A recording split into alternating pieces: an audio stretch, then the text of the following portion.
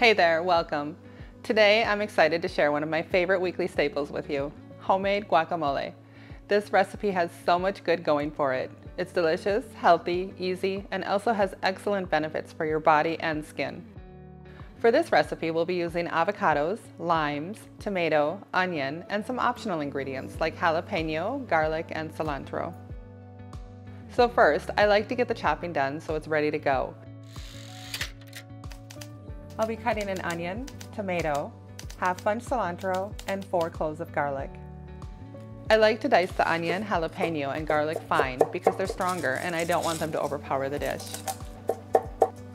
This really does come together fast. So when I'm prepping for a crowd, I like to save guacamole for last because I like to serve it fresh.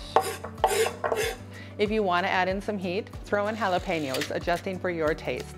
Other options that work great are serrano and roasted poblano peppers. Make sure to visit my website, becomingyouwithjulie.com, so you can see all the great skin and health benefits of guacamole, along with some extra ideas and tips. Unless you pick ripe avocados, no matter how good the recipe, it's tough to get it just right. Not all avocados are equal. Don't use avocados that are too soft, too hard, or squishy. What you are looking for is dark green, semi-firm, plump avocados. It's a perfect dip for gatherings like Super Bowl or just a casual night in. It's always been a part of our Mexican-themed movie and food nights. Guacamole offers that little extra something that turns good food into unforgettable food. You're also going to want to pick limes that have some squeeze to them. They offer more juice. So now we're going to open our avocados. We're going to cut them vertically in half. And next, we'll remove the pit, and then we take mm-hmm. out the flesh and put it into our bowl. I like using a generous sized bowl so I have a bit of room to work. Now, depending on how you like the texture of your guacamole, a bit rustic or more creamy, you'll either use a fork, masher, or an immersion blender. I like it somewhere in between, so we're going to use a masher today. We're going to mash this before adding the other ingredients so they stay whole. As a health coach and parent, I try to make sure each meal I serve offers some healthy nutrients. It's not about being perfect or rigid, but our daily nutrient intake matters. Next, we'll slice open the lime and add it to the mixture, stirring it in.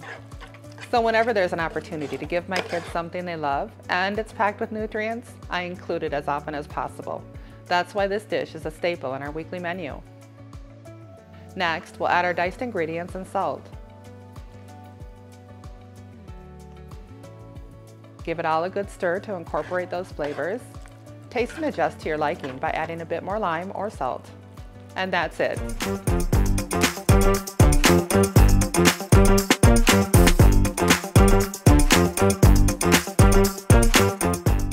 You can serve it in a bowl or molcajete, depending on your mood.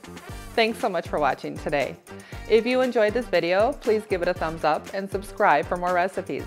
And don't forget to visit my website for more healthy plant-based recipes, inspiration, and personal stories of resilience and growth. The links are in the description below. Thank you.